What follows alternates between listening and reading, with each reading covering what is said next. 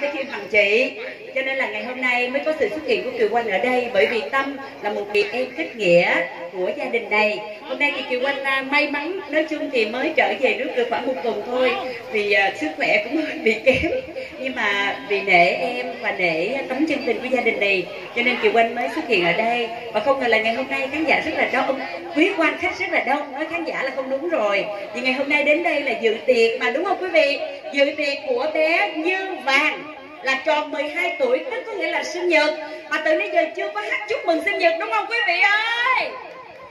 Vỗ tay một cái cho bé như vàng coi như là càng ngày càng lớn càng đẹp càng thông minh được không quý vị? Bỏ đũa xuống chút xíu đây. Rồi chút xíu em đãi thêm 10 món nữa mình ăn tới sáng.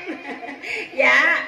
Rất là cảm ơn quý vị thật nhiều. À, đó là những lời mà kiều quanh tâm sự vì sao có mặt của ngày hôm nay. Và cái lời mà từ bây giờ ngồi ở dưới soạn một câu chào để chào lấy lòng quý vị coi được không nha? Kiều Quang xin kính chào toàn thể các anh các chị chào quý vị thành thị tới công ty chào từ công ty chào qua tình đợt xin đừng đùa cợt hay để tôi chào đừng chào ảo ảo tâm nói mình định muốn chào cho xin phải chào toàn bộ quý quan khách có mặt ngày hôm nay.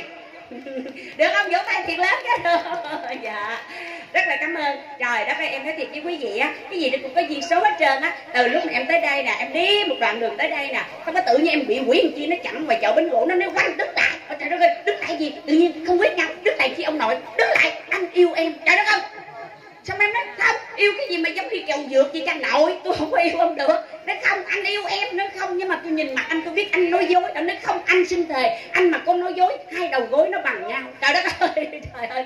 Trời ơi, thề xong em muốn mừng xuống em bắn cái so le luôn á chị? Xong cái xong nhưng mà yên tâm đi. Rồi cái bắt đầu một hồi, em đi được một đoạn nữa, em gặp cái quỷ kia nữa. Cái quỷ kia nó chặn em lại nữa cái nó mới hò mới ghê chứ, nó mới nói vậy nè. Hò hỡi cô má đỏ hồng hồng dừng chân cho anh hỏi em có chồng hay chưa? Trời ơi sao em tức quá định đi tới đây? Chị lên đây làm chi quà gì? Tiền hả? Bộ giàu lắm sao tặng nhiều vậy? Em rất là cảm ơn chị. Quý vị ơi à, kiều anh thì giận lắm bây giờ chị quên anh tấm hình được không quý vị? Đây là mẹ của cô bé nè đúng không? Dạ trời ơi, xinh đẹp quá, cho nên là cô bé phải xinh đẹp mà như vàng là đúng rồi. Quý vị ơi, Kiều quanh rất là may mắn nha, Đầu năm mà được lì xì 500 ngàn. Cho trào có tay được không, quý vị ơi? Dạ và ngày hôm nay, Kiều quanh xin phép quý vị vậy được không? Quá vui, và nhất là Kiều quanh rất yêu con nít, vì Kiều quanh đang có một, hai đứa con, một đứa cũng 12 tuổi và một đứa mới 16 tháng và thật sự thì những cái đồng tiền anh đi diễn anh có trích ra để cho các em nghèo ăn tết vì nó không may mắn như con mình. Cho nên ngày hôm nay quý vị nào tặng lì xì cho em em sẽ dành toàn bộ số tiền này cho trẻ em nghèo được không quý vị ơi? Vậy nha. Dạ. Để chúng ta cùng làm từ thiện để cho bé như vàng hưởng cái phước đó, càng ngày càng xinh đẹp, càng thông minh nữa. Còn bây giờ em trở lại em kể chuyện em tiếp. Quý vị lát là chút xíu nữa muốn tặng em gì thì tặng sau nha, em đang diễn là đừng có tặng nữa nha. Là như vậy sao ông xui cái? Hỏi vậy đó hỏi chứ. Hỏi cô má đỏ hồng hồng dừng chân chân hỏi, em có chồng hay chưa? Cái em tức quá, em tức quá, em đâu có vừa em, quý vị biết em hò lại sao? Em mới nói vậy nè. Dạ anh hỏi thì em xin thưa. Dạ con thì một đống mà chưa có ờ, chồng. Được không quý vị? Được vỗ tay cái đi rồi em kể viết tiếp đời em cho. Dạ đó. Xong cái ông dứt với ông cũng đi theo em.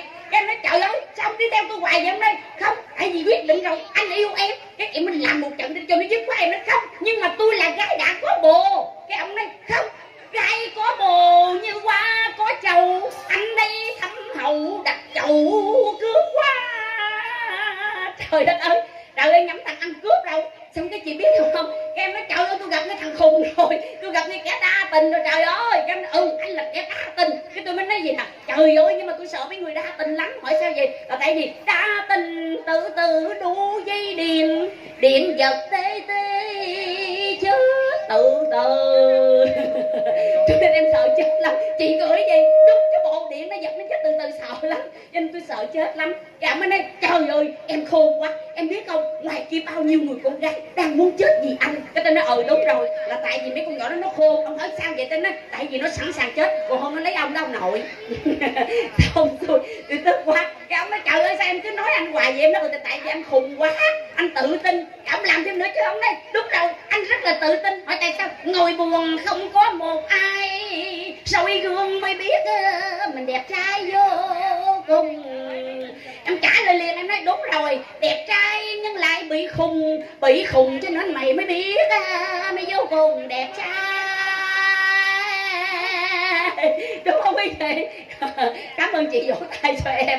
Trời ơi cái tên ông khùng quá ông nói không anh không bao giờ khùng anh chưa bao giờ đánh phụ nữ dù chỉ một cành hoa. Em nói đúng rồi không bao giờ đánh phụ nữ dù chỉ một cành hoa mà tặng phụ nữ nguyên cái khăn mùn xô thêm cục gạch để chọi cho lỗ đầu phụ nữ em trời ơi sao em cứ nói anh hoài vậy vậy tôi nói ừ. Tại vì mấy quỷ đẹp trai mà, đi theo tôi nói không có vô lòng tôi đâu. Tôi nói cho anh biết gì đó. Trời ơi sao mà sao em mới nói là, sao cái em mới nói, trời ơi, tôi nói cho ông nghe. Sao em làm một trận gì nữa em quỳ xuống, em khóc giá rồi nó mới chịu bỏ. Em em nói vậy nè, trời ơi, tôi sợ ông quá rồi, ông làm ông tha thứ cho tôi đi, tôi nói tiền cho nó bao nhiêu cô gái ngoài kia sao mày ổng tôi mà cứ đi theo hoài vậy? Không lẽ bây giờ cô bồn các đảng bây giờ tôi nói tiền cái tháng bảy cái gì tôi cũng cúng với anh á nhưng mà tại sao anh cứ theo tôi hoài vậy thì tôi nói tiền anh nên buông ra, giùm tôi đi, tôi hại anh đó. Bây giờ anh nói cho ba má anh giờ bỏ cái bạn cái gì tôi cũng tiền hết trơn, hết trọi, chứ đừng bao giờ đi theo tôi nữa. Tiền tình á, bây giờ buông ra giùm tôi đi, chứ bây giờ anh đi theo tôi hoài vậy trời ơi!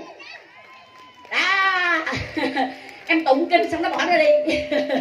Đó, anh tha cuộc tình của em thầy hôm nay tới đây. Nó nhiều khê như vậy đó.